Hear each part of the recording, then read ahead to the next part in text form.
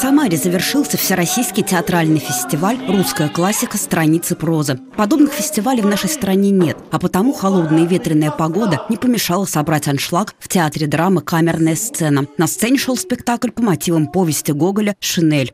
Нас не испугала погода, потому что я этот театр знаю давно. Я классный руководитель, поэтому свои классы я вожу на, практически на все спектакли.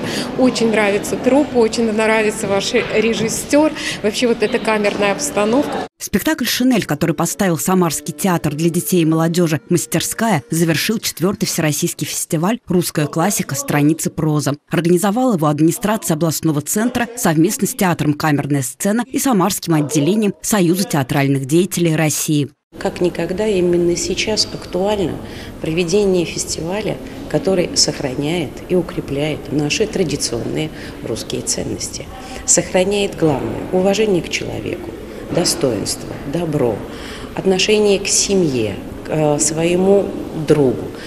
Все это заложено в этом фестивале. На фестиваль, который проходил в Самаре с 8 по 13 ноября, съехались 8 театров из разных городов страны – Санкт-Петербурга, Тамбова, Арзамаса, Тольятти. Уникальность фестиваля в том, что актеры ставят спектакли не по пьесам, а на основе русской классической прозы. Мы получили удовольствие впервые на этом фестивале. Мне кажется, сама идея фестиваля замечательная – пройтись по страницам прозы, потому что проза – это, в общем, как бы часть театра, но запросы, запросы не всегда берутся, потому что переводить на язык сцены достаточно сложно. Фестиваль – это слово даже такое фестивальное.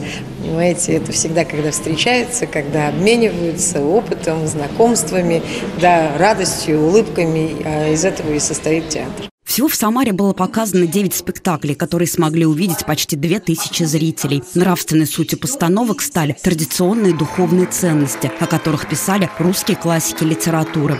Под занавес члены жюри наградили актеров в пяти номинациях. Гран-при за лучший спектакль получил творческий коллектив «Театр Самарская площадь». Светлана Тимофеева, Василий Колдашов. События.